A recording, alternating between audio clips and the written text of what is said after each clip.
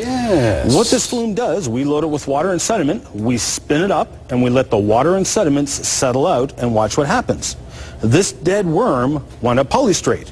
And if you recall in the last program we did a few months back, we talked about polystrate fossil worms in the Paluxy and in the Burgess Shale in Canada, where there was three found Now we have produced a polystrate worm. in the flume. All it took was moving water and mud. The worm wasn't even alive. It was dead. and lo and behold, it was, it was polystrate.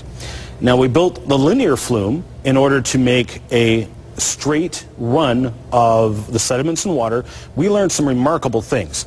Now, I'd like to introduce the viewers to uh, a geological formation called crossbedding. So you have layers, such as you see here, Yes.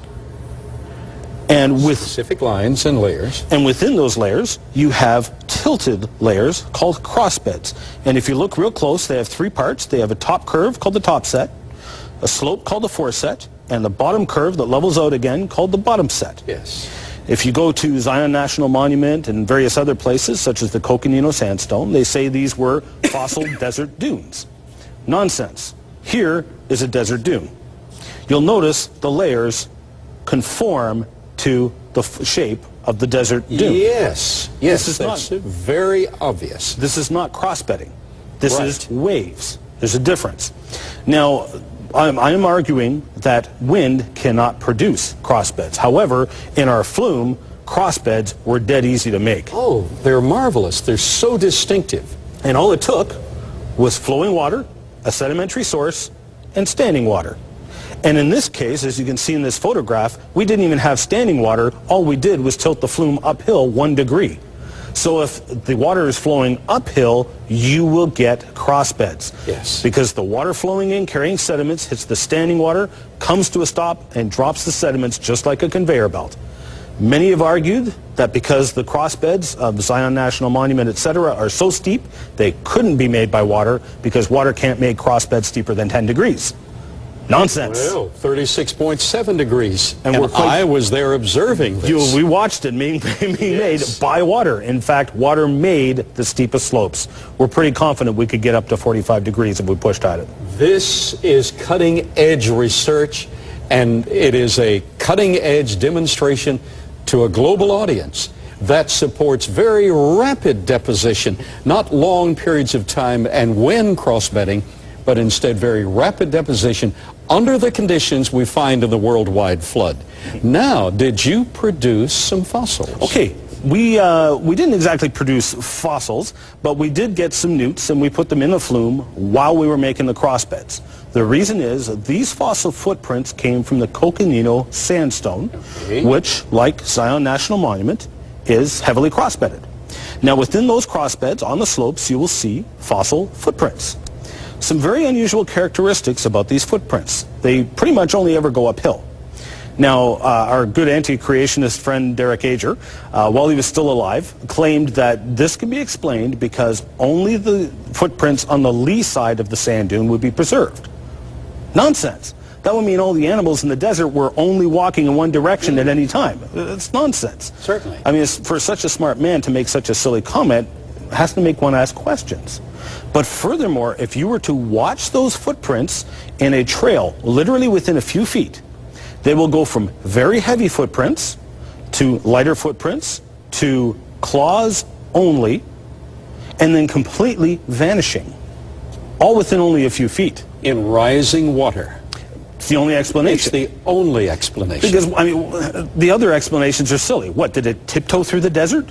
Did it grow wings and suddenly fly away? All other explanations are nonsense. However, in our flume, when we were producing the crossbeds, we put newts in the water to study their behavior. What they did, the water flowing in would hit the standing water and it would create an eddy right in this region Yes. right here, and the newts would hang out in that eddy. If they tried to escape, there was only one way to go. and That was uphill against the current. They would be picked up by the water, carried away, and often would even get caught back in the eddy and swept right back to the I exact observed it same spot. firsthand. And you caught it on film. We caught it on film. So all it takes, one salamander can make multiple tracks on multiple sets for hundreds, maybe even perhaps thousands of meters. Who knows how far? Now, The last thing I want to close with as well, uh, this comes from our good friend David Lyons. Yes, Another, yeah, another sand dune uh, place is the White Sands in New Mexico. I stopped in there as well. And of course, if you look, it is heavily cross-bedded. Right. Now, the thing is, the, uh, uh, they claim that this was, the crossbeds are being formed by wind. No, they're being destroyed by wind. You can see the crossbeds Yes. here, and you can see that it is horizontal where it is being worked by the wind. Wind produces waves, not crossbeds. Not cross-bedding. What we have learned in this intriguing time together is that the scientific research properly carried out, properly documented, properly understood, points to a worldwide flood in which dinosaurs were caught in an egg-laying context, in which ultimately creatures, dinosaurs and fish and other creatures were caught in a judgmental context in the throes of death with their necks arched for fishes. It was their back arched, gills distended in a horrible and very rapid death. All of this is global in nature. It points to the worldwide flood. But now, you can escape the proper judgment executed against a sinful mankind by turning to the ark of refuge, Jesus Christ. Christ died for our sins, was buried, rose again, ascended, and now in a universal dimension is approaching every heart. As he approaches your heart right now, would you pray this simple prayer with me? Just pray this simple prayer. Dear God, I've sinned. I need Jesus Christ. Lord Jesus, right now, I open my heart's door to you. Right now, come in. Cover me with your blood, forgive my sins, and save me forever. And I will serve you with all my heart. Welcome home.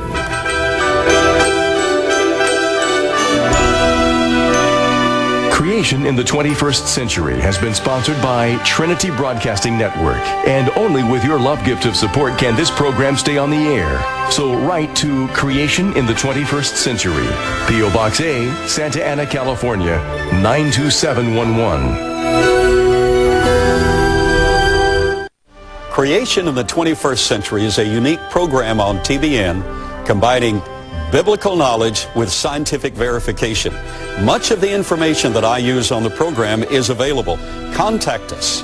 Just write Creation Evidence Museum, P.O. Box 309, Glen Rose, Texas 76043, or call us at 254-897-3200. We look forward to hearing